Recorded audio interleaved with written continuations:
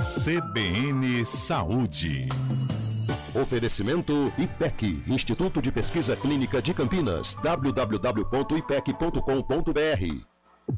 O Slow Care, ou tratamento de saúde em uma velocidade ligeiramente menor que os tradicionais, é o tema do CBN Saúde desta semana. A sustentabilidade é um aspecto fundamental dos produtos de Slow Care, viu? Isso envolve a escolha das marcas que adotam práticas de produção éticas. Doutora Ana Beatriz Schmidt, dermatologista e nossa convidada nesses últimos dias.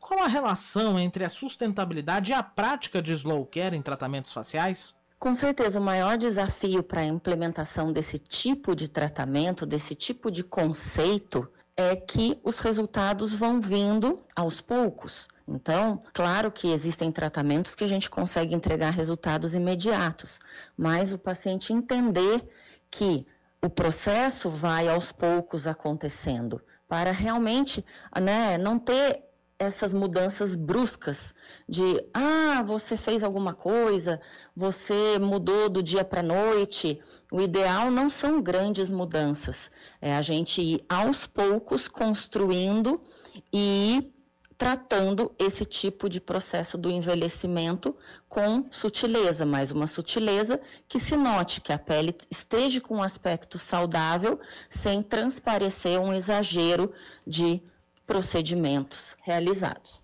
Doutora, qual a importância da escolha de ingredientes naturais e orgânicos em produtos de cuidados faciais nesse contexto de slow care? Ingredientes naturais e orgânicos podem sim ser associados nesses tipos de tratamentos, porém não são exclusivamente ingredientes naturais e orgânicos. Claro que se o paciente tiver uma restrição e exigir somente esse tipo de ingredientes, a gente vai tentar adaptar na rotina, mas geralmente são associados também outros tratamentos para conseguir todos esses resultados e não só tratamentos, como também o paciente realizar a sua parte. Nesta quinta-feira vamos falar sobre os desafios na implementação do slow care em tratamentos faciais e como eles podem ser superados.